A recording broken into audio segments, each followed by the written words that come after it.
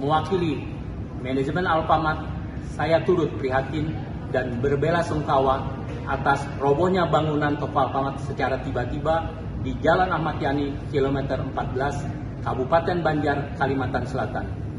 Kita sama-sama berdoa karena saat ini masih dilakukan evakuasi atas korban yang dibantu oleh Polda Kalimantan Selatan, Basarnas, Polres Banjar, Damkar, dan relawan.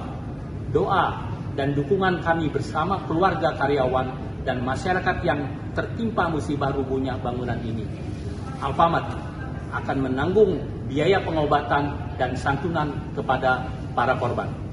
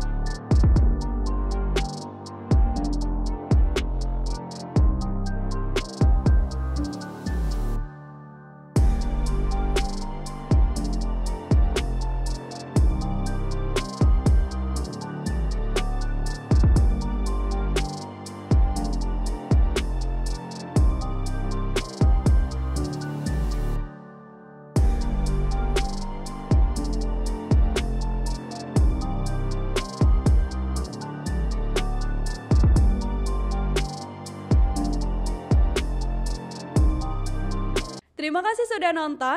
Jangan lupa like, subscribe, dan share ya.